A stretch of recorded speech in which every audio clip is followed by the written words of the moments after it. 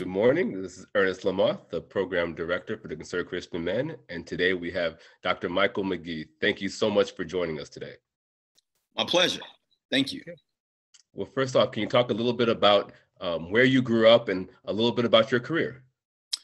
Uh, yeah, so um, I grew up uh, on the on the far far south side of Chicago, which is actually Gary, Indiana. So it's it's super south. Yeah. Um, for those of you don't know, Gary, Indiana is a small little city, um, maybe about 25, 30 minutes from Chicago. Um, I grew up in a single parent family. It was just my mom and I. Um, I grew up in a, every project in Gary. Um, back at that time, I used to get into trouble, um, being a, a, you know a young boy whose dad wasn't wasn't in the house. I, my dad uh, was in my life, but he wasn't in the house. Um, and also, I used to get into fights all the time, and you know, I you know learned how to fight, got into a lot of trouble, um, but I still did well in classes. Um, my mom made sure that she was going to school to be a nurse uh, while while growing up uh, with me, uh, and really pushed me to do well. But the schools I went to, uh, I tend to try to like to fit in a lot, and and and didn't like to really show my intelligence. So I would really suppress my intelligence even while in in, in junior high school and high school, uh, just so I can fit in. Uh, and I, I, got into trouble. And so um, you know, that's one of the reasons why violence prevention is something that I really um, like to to try to try to, to to have as a mission now for me because back then you can fight all day long, uh, two and three days at a time, and not get shot. Nowadays, uh, young men uh, will come back at you with a gun uh, and they'll shoot you. Uh, no one has uh, any any concern for life now, and so I, I, I encourage young men uh, to to resolve conflict and try not to get into a fight. I actually took martial arts and used to box, so I was really good at it. Um, and it's just something that I learned to have discipline, which was not to get into situations. That's what martial arts teach you. But there are times when I had to defend myself. But again, like right now in this day and age, that's something you don't want to do.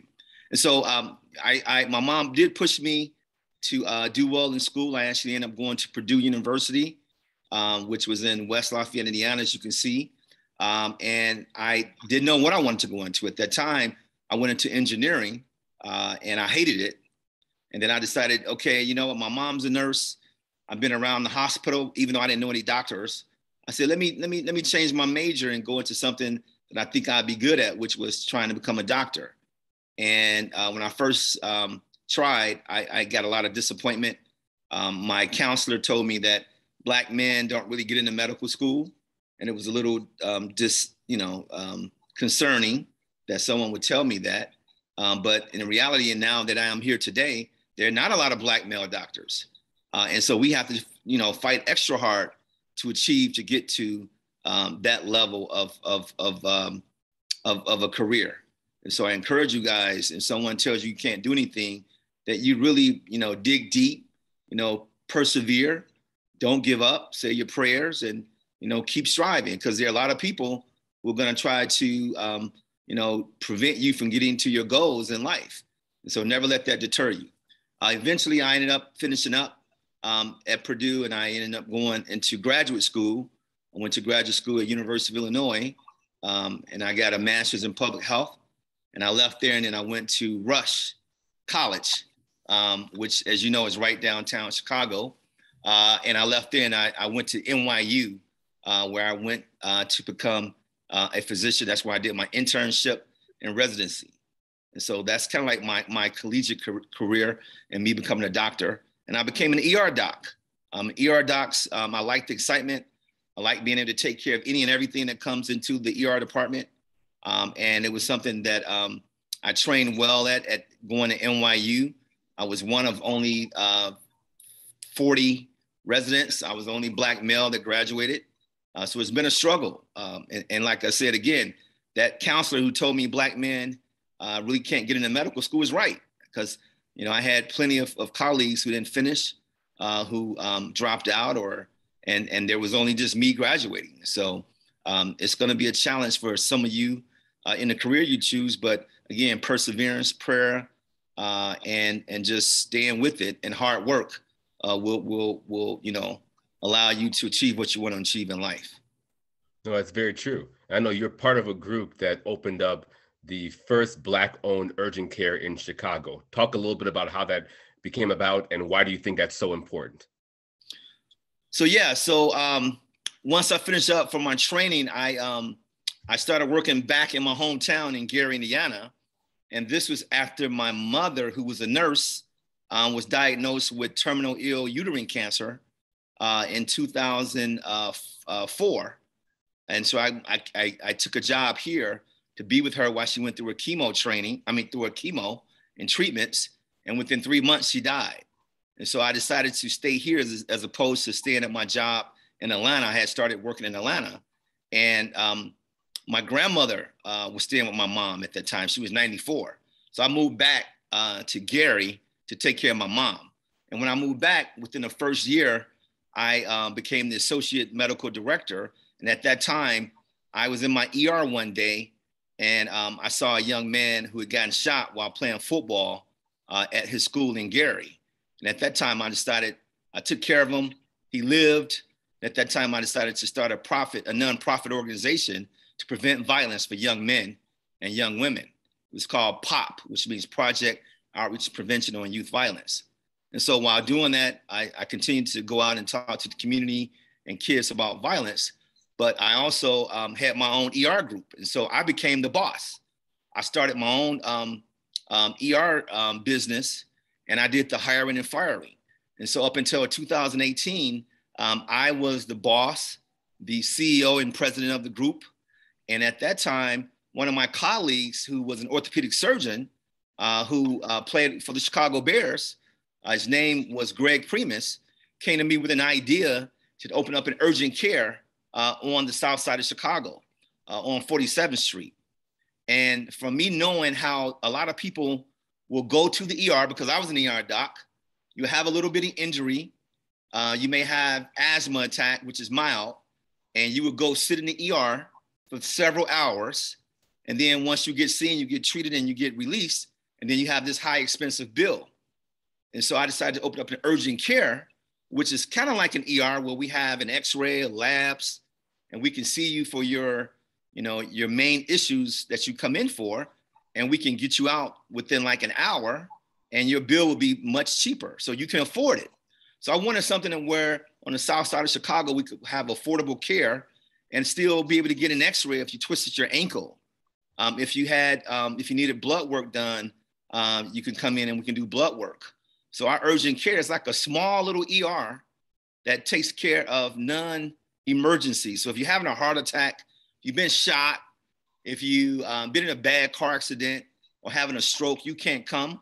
But if you have a fever, a cold, a cough, if you have, um, you know, any kind of, you know, uh, problems with your with your with your bladder or a urinary tract infection, you can come to us and we can take care of that. And so our urgent care is the, the first all black owned. All my other partners, all you know, two of them are black as well. One is a trauma surgeon and one is an ER doc like myself. And we open up this facility to try to take care of black and brown people on the south side of Chicago. And that's what we're doing today. It's called Premier Health Network. And you will hear about that from the video that we're going to show you as well. And we're entering now two full years that we had to deal with COVID. Can you talk a little bit about just an update on what people should know about COVID and why you believe that vaccination is important? Yeah, so right about now, everybody knows about coronavirus, COVID 19. It's been here since March of 2020. And we all know somebody who's gotten really sick. We know somebody who, who may be a friend who may have died from it we have a relative who may have died. And we also know that COVID, when it first came, it affected Black and Brown people the most. Black people have a lot of medical problems. We have lung problems like asthma, we have diabetes, we have high blood pressure, we may have kidney problems, we may have um, you know, obesity or be overweight. And guess what? Youth do too. Some youth may have, you know, a cancer. Some some some adults may have a cancer. And those people we found out early on, they were at high risk for getting COVID. And they would go to the hospital and they would die. And so what we found was that before we got the vaccinations, people were dying everywhere. And, and because people, we didn't have a treatment, the COVID would mutate in your body and change. So it'll become a different product called a variant. So we had the alpha, we had the beta, we had the gamma, we had the delta, which is what we just had that came from India, where in, in, in October 2020, we had a lot of people were dying. Um, we thought it was over, and then we started back having it.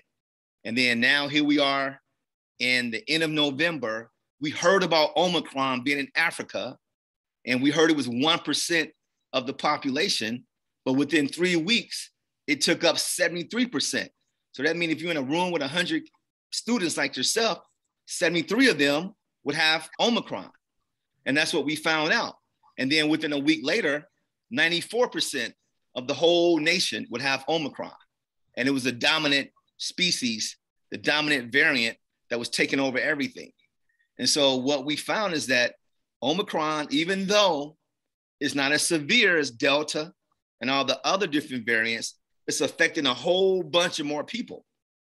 And we're also finding out that the vaccinations, if you get your two shots of Pfizer, and now if you get a booster, it protects you so that you won't have to go to the hospital. You don't have to get really sick and be in an intensive care unit. You don't have to be put on a ventilator where they put a tube into your lungs to help you breathe. Because if you're vaccinated, there are not a lot of people who still go to the hospital now. They typically get some, you know, some cold symptoms. They cough a little bit, may have a fever, body aches, you know, night sweats, back pain, and they do well. But people who have not gotten a vaccination, we now know from all the data from the past two years that people who are vaccinated, they tend to do well. And before Omicron, we saw that people who were vaccinated didn't even really get the, the virus. But because Omicron has mutated at least 39 times, it can get around the vaccines. And so you still can get infected, but the reality is you don't get super sick and you don't die from it. And so it's we're encouraging everybody, all youth, you know, from kids five and up can get the vaccination and do well. And, and what's what's strange about it is that with this Omicron, it affects the upper airway, which is your throat, your nose, you get nasal congestion when you're snotty, you get a sore throat or scratchy throat, and you may think it's a simple cold. And because all of that virus is in your upper airway, if you sneeze, cough, spit while you're talking, and you're around somebody within three feet, within 15 minutes, 15 minutes, they can get Omicron. That's why it's important for you guys to wear high upscale mask. Even a cloth mask that you wear with sports on it, or you know anything that's cloth that's not you know really uh, surgical mask or a KN95, you can end up getting COVID real easily because you're not wearing the proper mask. And so we encourage all of you to wear the proper mask because what happens is you may not get sick, but your grandmother or your little baby sister who's only four years old who can't wear a mask or who can't get vaccinated will get sick. So you got to care about others. Uh, and so we encouraging everybody, all youth, to get the vaccine. Tell your parents, you know, that you want to get it done. There's a bunch of stories out there and a bunch of myths about what it do to you. Not no one has died from from getting the vaccine. The worst that can happen is you may get an allergic reaction within the first five ten minutes. That's why we watch you for 15 minutes when you get the vaccine and it doesn't cause a lot of problems. People were saying that it can make you sterile so you can have kids. They say that it can take over your mRNA, which will take over your DNA so that it'll control you, that the government is, is doing it. There's so many, any, so many untruths and lies out there. And I just can't understand why, when we as Black people know somebody, a friend or a family member has died. So we know it's not fake. We know it's the real deal because people in our family have died from it. And so I encourage all of you, get the vaccine, tell your parents you want it, encourage your parents to get the vaccine. And also, um, healthcare is extremely important. Can you talk to these the young boys a little bit about just the importance of regularly going to your physician? Because some people don't necessarily do yearly physical visits. Yeah, so so so most um, young men and young women, uh, if they're if they're blessed, they don't often have a bunch of medical problems. But good habits start when you're young. If you're eating the right foods, eating your vegetables and not eating a bunch of sweets and unhealthy foods, you won't gain weight. As you gain weight, you can get diabetes. You know, there are young kids who get high blood pressure. Um, there are a bunch of kids who can get diabetes at an early age. You know, so you got to be aware of that. And even when it comes to as you get older, you know, a part of health is is is is is um, knowing about the birds and the bees and and and abstaining from having sex until you're old enough and mature enough and have one person in your life. Because a lot of times, young men, young girls can have sex too early and they can get HIV, AIDS, they can get, you know, herpes or, um, you know, um, gonorrhea, chlamydia. Uh, and we're finding out that a lot of young people have that right now where they may not be able to have a baby when they're married. So we encourage you to, to, to, to abstain from sex. And if you're old enough to have sex, to be with one person and to uh, use protection. Uh, and right now, the biggest public health problem right now uh, is, is with violence. And that's what um, why I started my profit, my nonprofit organization, is to try to go out and talk to youth about violence. Because the number one killer for young black men aged 10 to 24 is homicide from gunshots. And it's also the number two killer for Hispanic young boys aged 10 to 24. is homicide from gunshots. Everybody who say they're your friend are not your friend. And one of the studies done by the FBI showed that the number one reason for people being shot or killed is not gangs. Gangs is there, like in Chicago and some cities, you do have a lot of gangs, but you have small gangs who are basically beefing because of altercations. They get into Facebook, you know, arguments, and then somebody starts shooting. Well, the FBI discovered that the number one reason for people being shot is altercations, and it's usually by somebody that you know. So you got to watch your friends, because everybody not your friend. And so right now, a lot of people have guns.